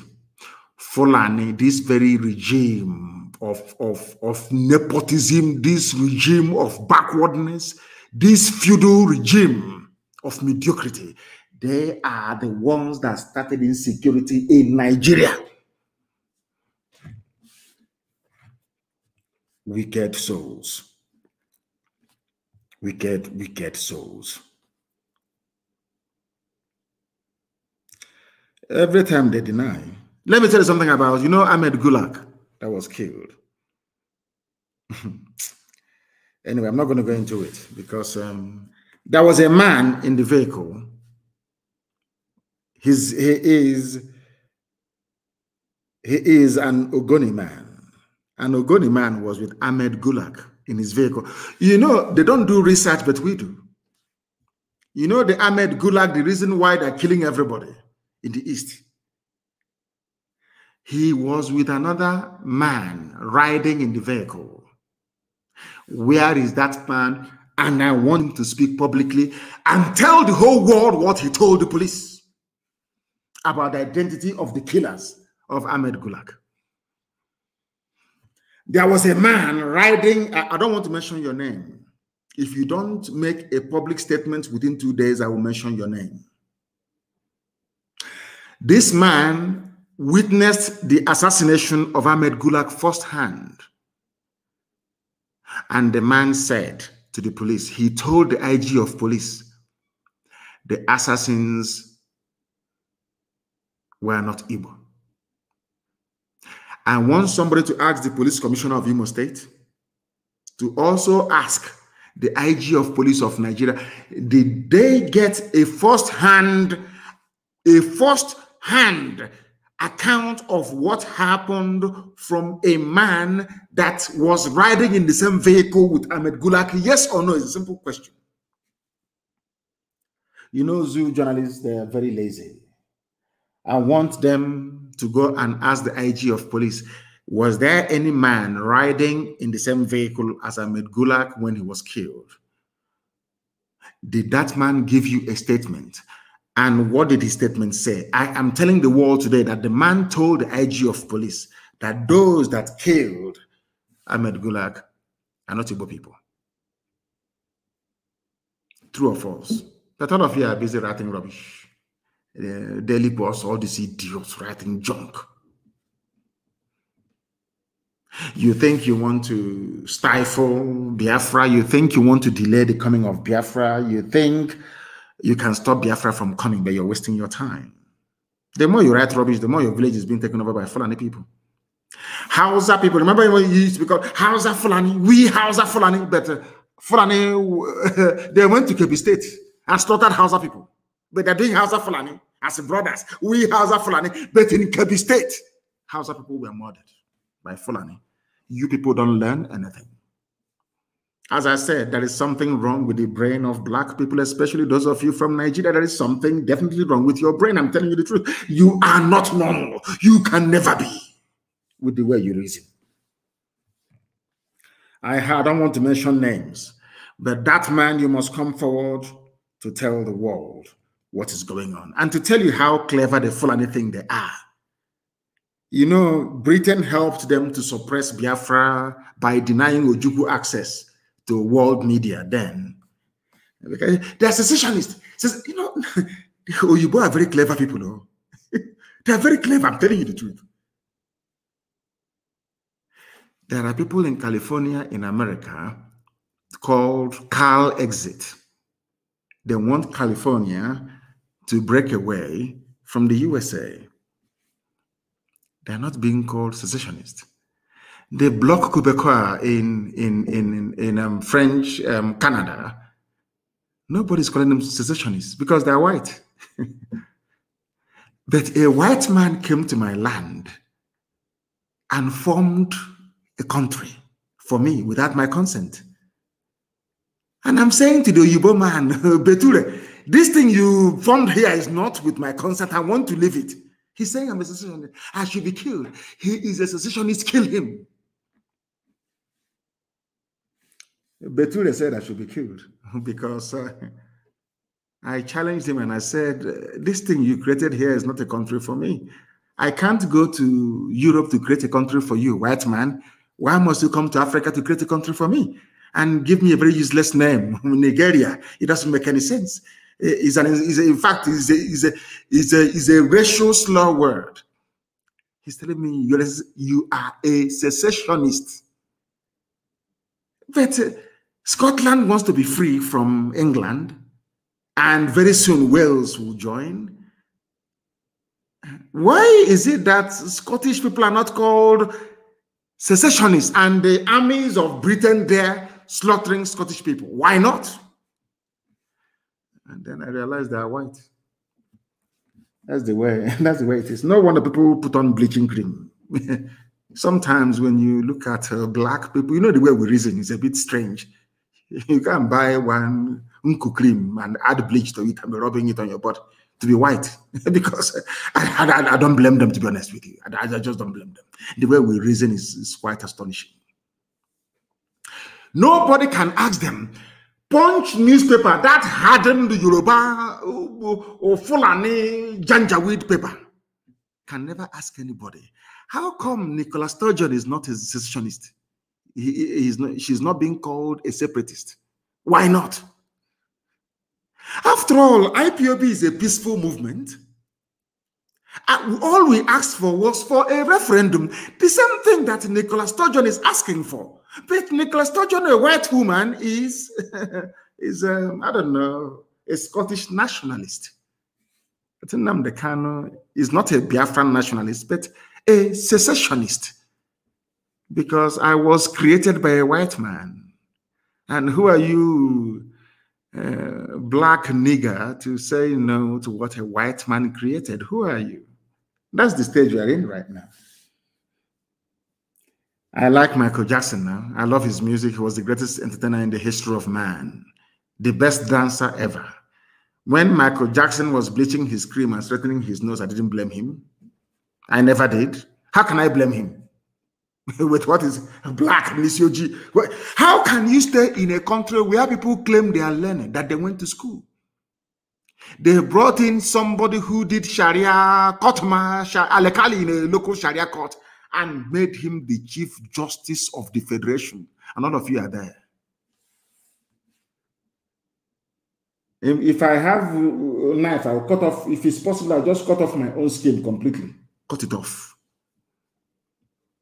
Black people, they make me sick because of the way we reason. We do not reason like human beings. I'm telling you the truth. And that is why I am upset. I am as upset as I am.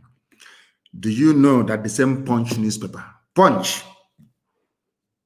and I've been mentioning their name, you will hear what will happen to them. Punch newspaper. Go and ask her. If I lay a curse on you, you're finished.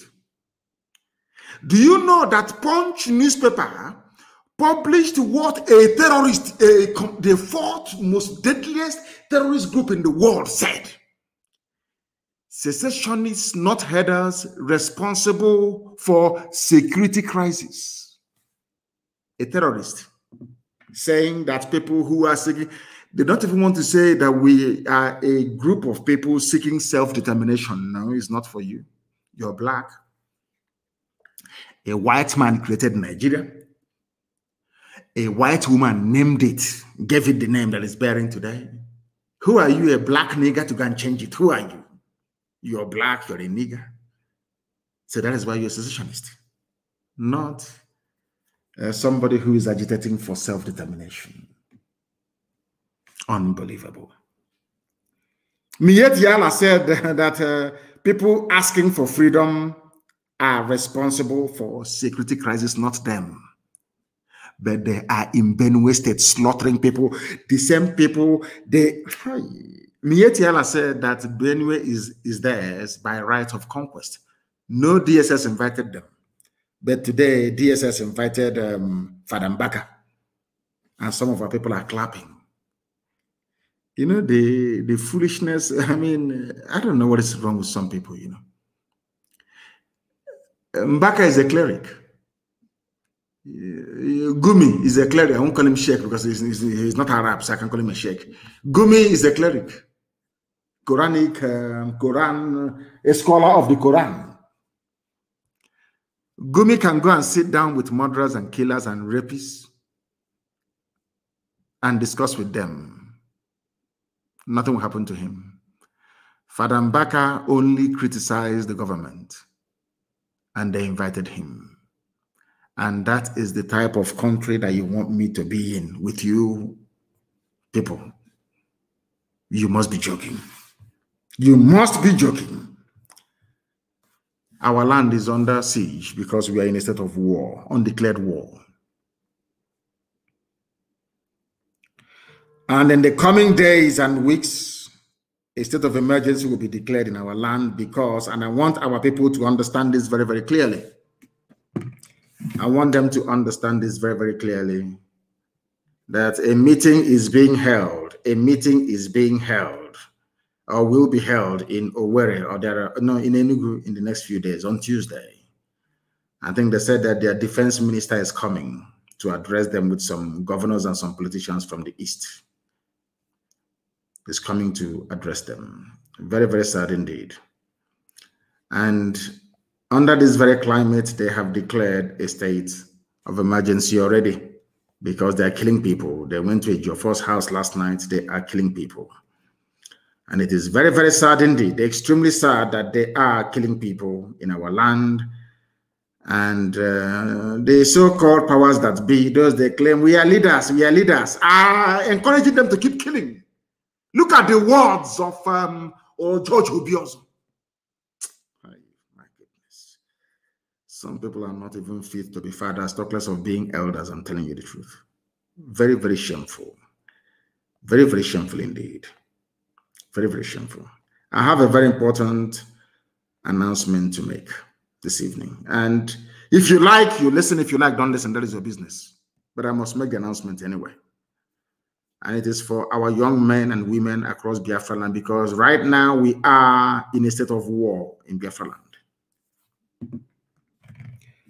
This evening, we heard that a Hercules C 130 Air Force plane landed at Sam Mbakwe International Airport and they brought in more murderers and killers, more terrorists from the Sahel to come into our land to kill us wearing police and army uniform. Any policeman you see on the streets, any soldier you see on the street is a terrorist. And you must approach them the way you would approach any terrorist group in the world. The Nigeria Army and Nigeria Police in the East, they are essentially a terrorist organization only that they are wearing official state sanctioned uniform. Now, listen to me carefully. If you are in Anambra State, especially, I am advising every young man, woman, boy, or girl to leave Anambra State or to go into the bush. I'm warning you, I warned you during EndSARS regarding Obigbo. Some of you didn't listen, and today you are in the grave. I'm warning people in Anambra in the coming days, within the next 48 hours, very heavy rain is going to fall across the entire East. If you're a young person, prepare right now to either go to the bush to join your fellow men or to leave Anambra State completely because what these people do is that they set up their roadblocks or their checkpoints. Any young person they see, they kill. They abduct you and they kill you. Bend the road, you know, road in Omaha, they're doing the same thing. Every checkpoint, they stop every vehicle. If you're a young man or a young girl with a tattoo on your body, you are dead. And your organs will be hacked off and sold to the British and to Indians. You'll be dead. If you have a tattoo right now on your body anywhere in the East, you might as well start wearing a suit or dressing up like a priest because if they see a tattoo on your body, they will kill you. That's what they've been doing. Some of you are also aware of the dead bodies in the mortuaries all across our land. You are aware of it, don't you? Those are the dead bodies of young men and women across our land. In the coming days, the terrorist army of the zoo and their police will intensify the second phase of their ongoing genocide in Biafra land. Abductions, summary executions, kidnappings, and rape by these Fulani terrorists are on the rise and do not say I did not warn you. If you're in Anambra, you must leave as a young man or as a woman. Go to a neighboring state if you have to. Things are about to happen in Anambra state. Don't say I did not warn you. All able bodied men must enter the bush, no more sleeping at night. Some of you are still sleeping in your homes. And I want young men in every village to form a defense force in that very village. Any vehicle in the middle of the night coming to that very village, you disable it. There are many ways to do it. And I will tell you, but not live here on air, to be communicated off air. That is what we must do because our land is under siege and we must defend it. And with that, we have come to the end of our presentation this very day. And I thank you all for listening. And for those of you, the Twitter staff that are listening to us this evening, I want to tell you something that maybe the whole world knows, um, but Garba Shehu would not confess to knowing about is this. You may call Biafra a secessionist, whatever you like, from now till the kingdom come. It doesn't make any difference to us. Because to us, Biafra is not just a nation, it's not a country, it's not a home. It is our religion. The same way people die for Christianity, people die for Islam, is how we are dying for Biafra. Biafra is our religion. The sooner our enemies understand this, the better for everybody. We cannot give up. Biafra is our religion. Here on radio, Biafra is where we worship. Because Elohim is our God. I thank you all for listening this very evening. Until next time, from me, from here, it is good evening.